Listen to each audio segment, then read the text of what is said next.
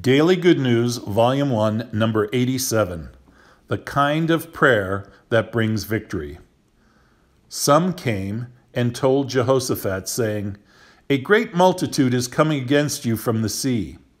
And Jehoshaphat feared and set himself to seek the Lord, and proclaimed a fast throughout all Judah.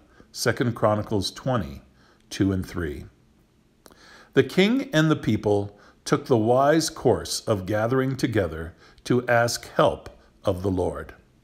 The prayer of Jehoshaphat was a prayer of faith and contained within himself the beginning of victory. Are you not God in heaven, and you do not rule over all the kingdoms of the nations? And in your hand is there not power and might, so that no one is able to withstand you? Second Chronicles 20, verse 6. The one who can begin his prayer in the hour of need with such a recognition of God's power has victory already on his side.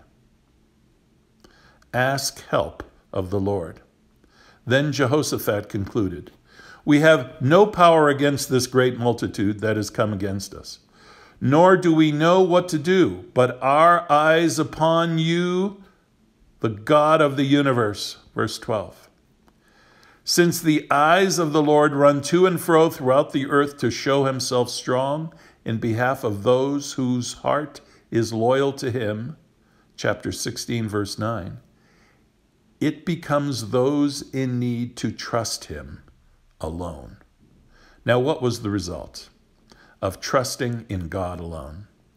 The prophet of the Lord came and said to him, Do not be afraid nor dismayed because of this great multitude, for the battle is not yours, but God's. And Jehoshaphat stood and said, Hear me, O Judah, and you inhabitants of Jerusalem.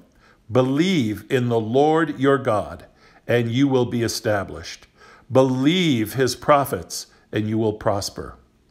He appointed those who should sing to the Lord, and who should praise the beauty of holiness as they went out before the army.